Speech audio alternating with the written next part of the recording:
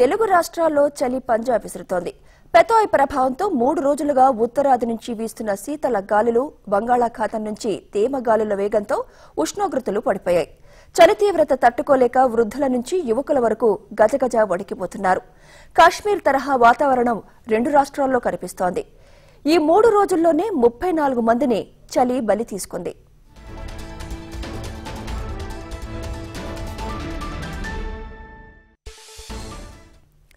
డిసెంబర్లో ఉష్ణోగ్రతలు తగ్గడం చలి పెరగడం సహజమే. అయినా ఒక్కసారిగా దారుణంగా పడిపోవడంతో జనం ఇబ్బంది పడుతున్నారు. ముఖ్యంగా వృద్ధులు చిన్నపిల్లలు తట్టుకోలేకపోతున్నారు. పెద్దవాళ్ళు సైతం అవసరమైతేనే ఇళ్ళ నుంచి బయటకు వస్తున్నారు. ఈ వారం చలి తీవ్రత మరింత పెరిగే అవకాశం ఉందని వాతావరణ శాఖ నిపుణులు హెచ్చరించారు.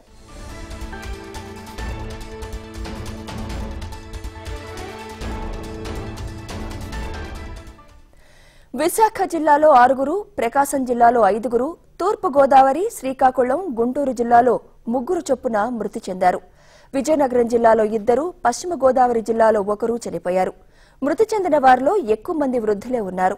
విజయనగరం జిల్లాలో ఏకంగా వెయ్యికి పైగే మూగజీవాలు మృత్యువాతపడ్డాయి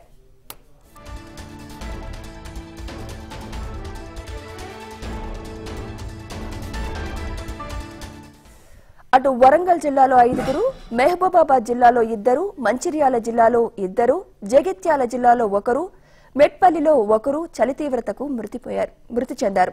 హైదరాబాద్లో పగటి ఉష్ణోగ్రత పంతొమ్మిది పాయింట్ ఎనిమిది డిగ్రీలు నమోదైంది. ఈ ఏడాది పగటి సమయంలో ఇంత తక్కువగా నమోదు కావడం ఇదే తొలిసారని వాతావరణ శాఖ అధికారులు తెలిపారు. ఇది సాధారణం కన్నా తొమ్మిది పాయింట్ రెండు డిగ్రీలు తక్కువ. హైదరాబాద్ శివారు హకీంపేటలో మంగళవారం పగలు రాష్ట్రంలోకెల్లా అత్యంత తక్కువగా పద్దెనిమిది పాయింట్ ఐదు డిగ్రీలు నమోదైంది. రాష్ట్రంలోని ఇతర ప్రాంతాల్లో సైతం పగలు రాత్రి ఉష్ణోగ్రతల మధ్య పెద్దగా వ్యత్యాసం లేనందున రోజంతా చలిగాలుతో ప్రజలు ఇబ్బందులు పడుతున్నారు.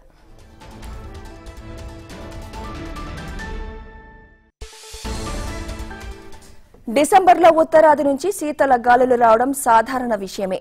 గాలుల వేగం గంటకు పది నుంచి పదిహేను కిలోమీటర్ల వరకు ఉంటుంది. శీతాకాలంలో గాలుల్లో అసాధారణ వేగం ఉండదు. కానీ తుఫాను వల్ల బంగాళాఖాతం నుంచి గంటకు అరవై నుంచి డెబ్బై కిలోమీటర్ల వేగంతో బలమైన తేమ గాలులు వీచాయి.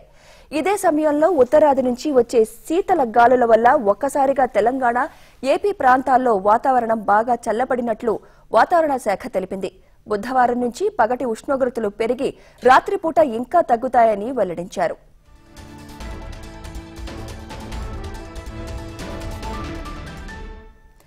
హైదరాబాద్లో చలి తీవ్రతపై అప్డేట్స్ మా కరెస్పాండెంట్ ఉమా అందిస్తారు. హైదరాబాద్లో ఒక్కసారిగా వెదర్ కండిషన్ కంప్లీట్గా చేంజ్ అయిపోయింది.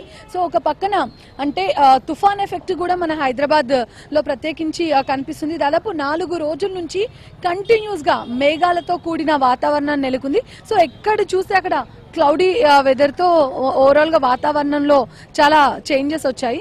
Uh, చలికాలం అదే విధంగా తుఫాన్ ఎఫెక్ట్ రెండు ఒకేసారి ఉండడంతో చలి తీవ్రత చాలా పెరిగింది. అంటే uh, రాత్రిపూట ఉండాల్సిన టెంపరేచర్ పగటిపూట కనిపిస్తుంది. కంపేర్ టు లాస్ట్ ఇయర్తో పోలిస్తే ఈసారి చలి తీవ్రత చాలా విపరీతంగా ఉంది. ఎవరు బయటకు వచ్చే పరిస్థితి మాత్రం కనిపించట్లేదు. ఎందుకంటే క్లౌడీ వెదర్ అండ్ చలి తీవ్రత పెరిగిపోవడం ఒకసారిగా సెవెన్ సెవెన్ టు ఎయిట్ అంటే పది పర్సెంట్ కంప్లీట్గా ఎక్కడికక్కడ టెంపరేచర్ శాతం తగ్గుతూ వస్తుంది. సో దీంతో చలి తీవ్రత విపరీతంగా పెరగడంతో బయటికి రావాలి అంటే ఆలోచించాల్సిన పరిస్థితి. సో స్పెషల్లీ కొన్ని స్కూల్స్ కూడా హాలిడేస్ ఇవ్వడం ప్రకటించారు. చలి తీవ్రత విపరీతంగా పెరిగిపోవడంతో హైదరాబాద్ సిటీ మొత్తం క్లౌడీ వెదర్గా మారిపోయింది. కెమెరా పర్సన్ శ్రీశైలంతో ఉమా టీవీ ఫైవ్ హైదరాబాద్.